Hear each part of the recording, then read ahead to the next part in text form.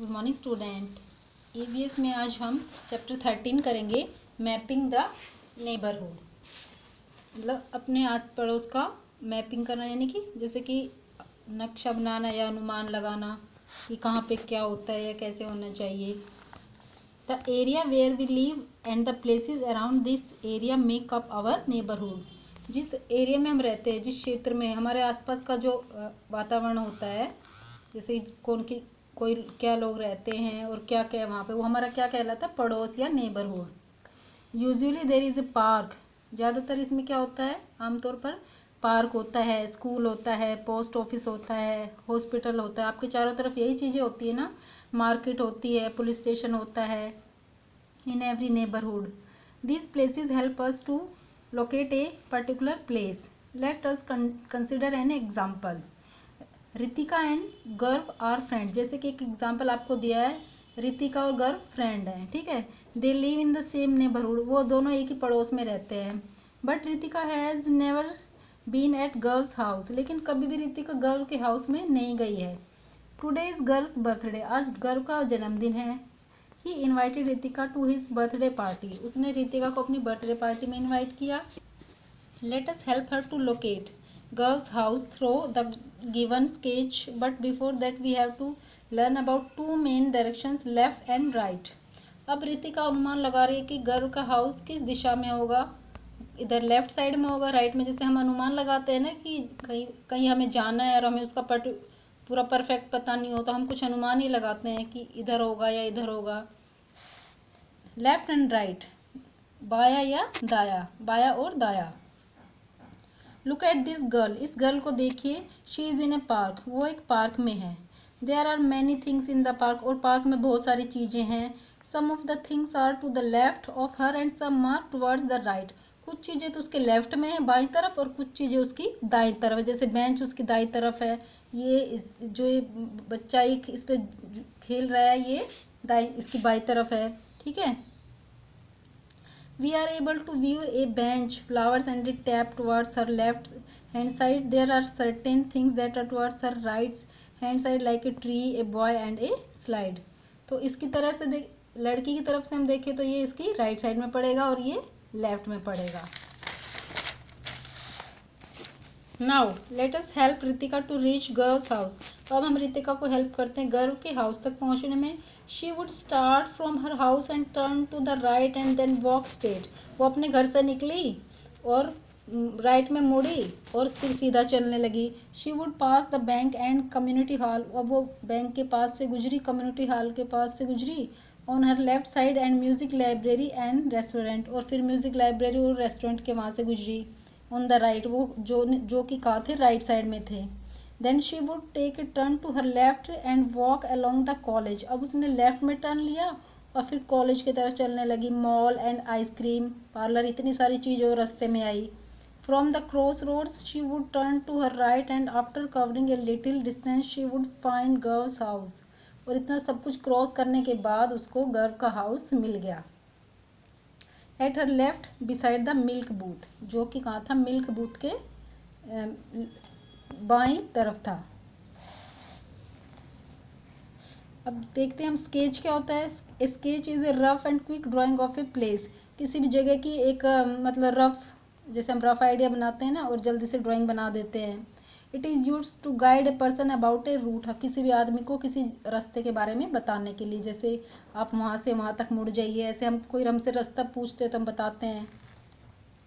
Drawing a plan plan बनाना। Plan क्या होता है? A plan is a similar to a sketch but is a more systematic जैसे हम बोलते हैं ना, हम मैं कोई प्लान जैसे योजना बनाना। किसी काम के बारे में पहले से योजना बनाना, व्यवस्थित ढंग से।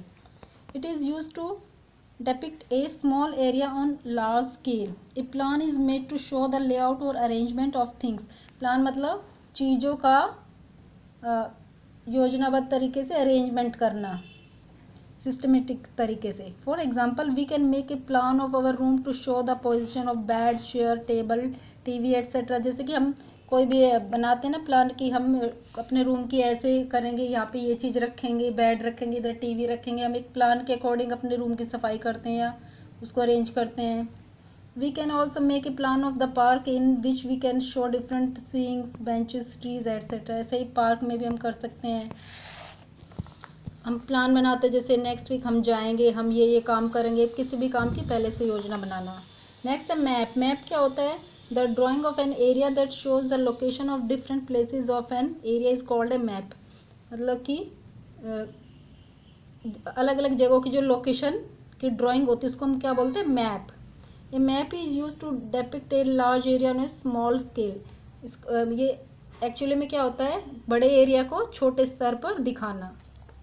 On a map symbols are use to show the main places और लैंडमार्क्स और मैप में क्या होता है? सिम्बल दिखाए जाते हैं लैंडमार्क्स को दिखाने के लिए which make locating place very easy जिससे हमें पता चल जाता है कि कौन सी मतलब किस चीज़ का ये सिम्बल है, किस जगह के बारे में है। Let us tell you how to read a map अब हम आपको बताते हैं मैप को कैसे रीड करते हैं।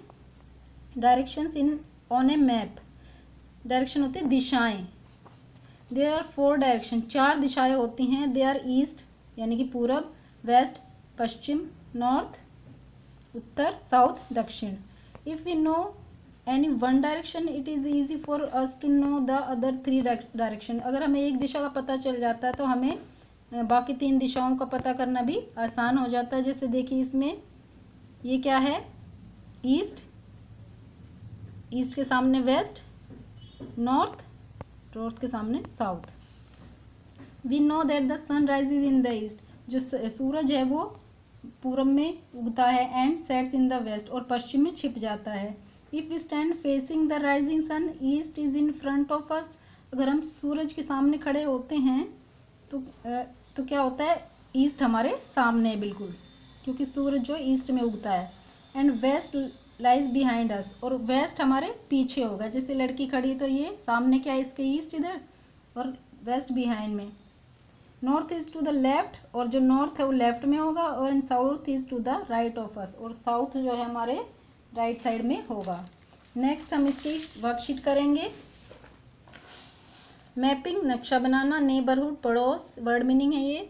सिस्टमेटिक व्यवस्थित प्लान योजना डायरेक्शन दिशाएँ ईस्ट पूर्व या पूर्व वेस्ट पश्चिम नॉर्थ उत्तर साउथ दक्षिण। Next tick the correct option. The area where we live and the places around it make up our town या neighborhood या country neighborhood. It is used to depict a small area on a large scale map. They are used to show the main places or landmarks on a map. Symbols It is a rough and quick drawing of a place, sketch. It is made to show the layout or arrangement of things. Plan. Answer the following question what is a neighbourhood ये भी मैंने आपको book में पढ़ाया chapter में. What is a plan explain its use also plan क्या होता है इसके यूज़ ये भी अभी आपने चैप्टर में पढ़े हैं. What is a map map क्या होता है? चैप्टर में मैंने पढ़ाया भी आपको. व्हाट इज़ स्केच स्केच क्या होता है? ये भी आंसर पढ़ाया है। What is a scale scale क्या होता है? नेक्स्ट है मैच द फॉलोइंग अब आपको मैच करना है। Sunrise is in the east पूर्व में उगता है। स्केच क्या होता है? Rough drawing on a place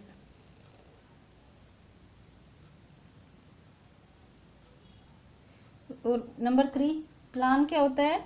Systematic drawing of a place symbol क्या होता है number four make locating place easy map depict a large area on a small scale thank you